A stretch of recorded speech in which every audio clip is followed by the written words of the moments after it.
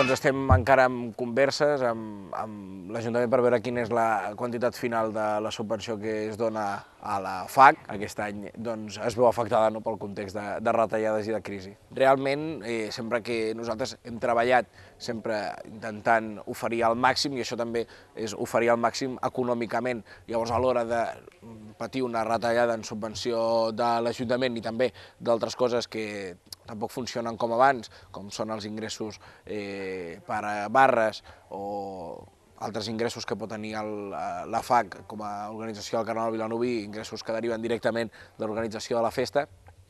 doncs clar, aquests ingressos també es veuen minvats i aleshores intentarem acomodar els actes, intentarem no suprimir-ne cap perquè eh, ja són realment pocs actes els que organitza, els que organitza la FAC perquè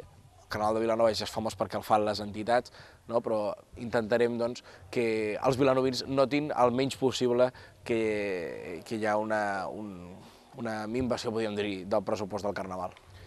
No s'ha de patir pels actes, diguem, de sempre.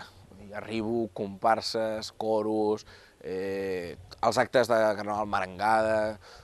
els actes tradicionals de sempre no s'ha de patir, els tenim pràcticament assegurats. Ara, actes complementaris que, que poden, que poden haver-hi,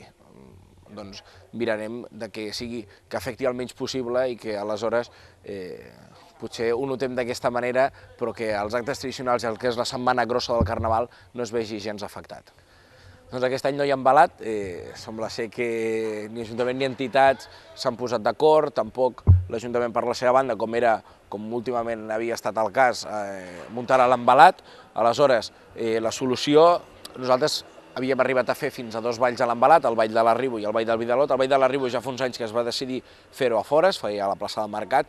simplement per qüestions d'aforament, sempre comportava problemes, problemes pràcticament ja de civisme, de tanta gent en un espai tan petit, tanta gent potser que quedava fora de l'embalat i es decidia portar a la plaça del Mercat. Aleshores, el Ball del Vidalot, que era l'últim ball que es feia a l'embalat, el que farem serà intentar, la nostra intenció és portar-ho fora eh, de, de l'embalat, òbviament, perquè no n'hi ha, i apropar una plaça, una plaça del, del centre.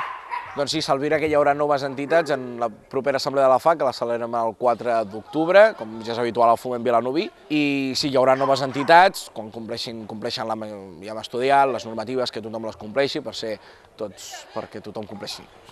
simplement perquè, per no, perquè totes les entitats han de tenir una sèrie de condicions que han de complir, que no qualsevol entitat es pugui federar en qualsevol moment, un mes abans, una entitat acaba de constituir sense, sense un futur clar, i aleshores entraran, sí, si no hi ha cap mena de problema, coincidències de vestuari amb altres entitats, que ningú es queixi, entrarà a formar part de la FAG en aquesta assemblea, que farem una assemblea que recordem que és només per les entitats, que a vegades se'ns presenta públic de fora, és una assemblea on només hi prenen part les associacions ja federades a, a la FAC. Doncs hem canviat de local, ara no estem al TOC, al carrer Sant Sebastià número 11, que és el, aquell hotel d'entitats de l'Ajuntament de Vilanova, sinó que per varis problemes que havíem, que havíem patit allà al TOC i doncs, juntament amb, amb, amb el consistori hem trobat aquest, eh, per fer un canvi de local i ara estem aquí al carrer Major, davant del, del Museu Camp Papiol, ja ho trobareu, hi ha un domàs de carnaval al balcó i, i estem allà on tenim el local on ens reunim els dijous i també atenem, atenem a les entitats i, i els vilanovits i vilanovines.